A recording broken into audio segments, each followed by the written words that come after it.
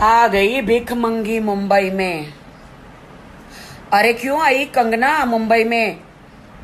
मुंबई आतंकवादियों का शहर है पीओके हैं। तो यहाँ भीख मांगने क्यों आ गई?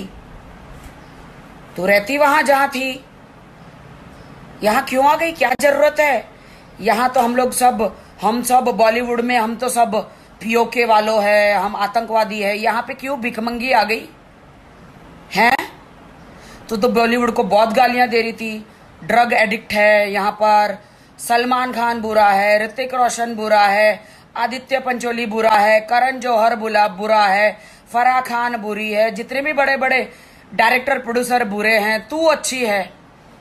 तेरे में लगा है कोहिनूर हीरा। तू बहुत अच्छी है। तेरे में बड़े बड़े ये बड़े बड़े कोहिनूर अंदर से ऐसे हीरे लगे हुए हैं। तू अमेजिंग है। पूरे बॉलीवुड को कहती हूँ कि इस कंगना को बॉयकॉट करो आप लोग।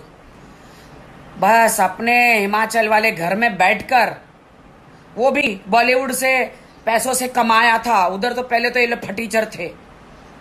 पहले तो ये लोग भिख मंगे फटीचर थे। यहाँ से पैसा कमाया हमारे बॉलीवुड से। महाराष्ट्र, मुंबई से पैसे कमाया हमारा और बड़े बड़े प्रोड्यूसरों ने इसको चांस दिया, पैसा कमाया, वहाँ पे घर बनाया। वहाँ से बैठ के धमकियाँ दी।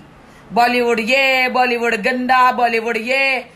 अरे ओ नाड़को टेस्ट वालो, ये कंगना का ब्लड चेकअप करो 99 एंड 1 परसेंट। इसके अंदर आपको धातु मिलेंगे। इसके, उसके 99 एंड 1 परसेंट। सबसे बड़े गर्दुल्ली चरसुली तो यही है। खुद भी कही है कि मैं तो बहुत लेती थी, बहुत लेती थी।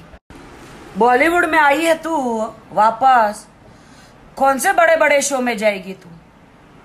सलमान से लेकर, शाहरुख से लेकर, करण जौहर से लेकर, सबको बड़े बड़े प्रोड्यूसर डायरेक्टर टेलीविज़न इंडस्ट्री सबको ये गालियाँ दे चुकी है। कैसे सामना करेगी सबका?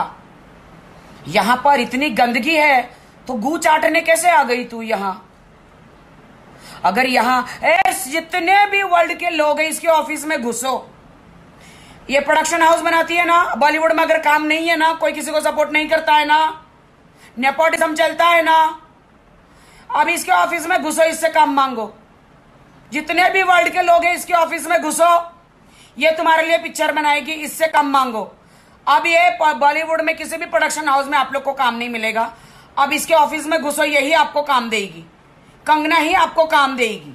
ठीक? कंगना जी, महाराष्ट्र के सीएम, माननीय उद्धव ठाकरे जी और मेरे भाई करण जौहर, बॉलीवुड की शान बान आन, जो ऐसे फ़िल्में बनाते हैं, सबके तोते उड़ जाते हैं। Number one direct director number one human being number one अच्छा इंसान करण जौहर।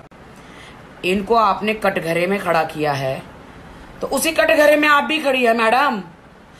बॉलीवुड में अपनी करतूतें दुनिया को बताया आपने क्या क्या करा है। बड़े बड़े स्टारों के पास गए तुम इन उन्हीं के बारे में बुराई करती हो जिन्होंने जिन लोगों ने तुम्हें दुत्कारा है, उनके पास उनका तुम खुद वहाँ पर उनके पास गई, जब तुम्हें तुम लोमड़ी हो, जब तुम्हें अंगूर नहीं मिला तो तुम्हें अंगूर खट्टे लगते हैं। इसीलिए तुम अब अपनी प्रोड्यूसरों को जमा कर करके भगवान जाने क्या कर करके अपनी फ़िल्में बनाने लग गई। समझ गई। हम भी हमारी फ़िल्में बनाते हैं। मेरा भी प्रोडक्शन हाउस है पाँच पाँच फ़िल्में बनाई है मैंने भी।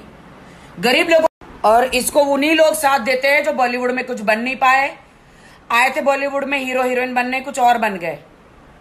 यहाँ पे प्रियंका चोपड़ा, नवाजुद्दीन, राखी सावंत, ऐसे हज़ारों, करोड़ों छोटे छोटे शहरों से आए हुए हैं इंसान जो बॉलीवुड में बड़े बड़े स्टार बन गए।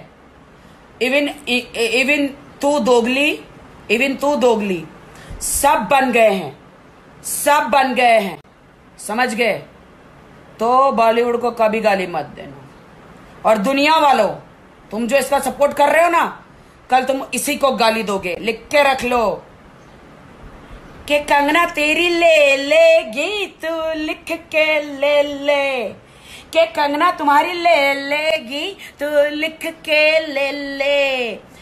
एक न दिन, एक दिन असली चेहरा बार ज़रूर आएगा। आज हमारे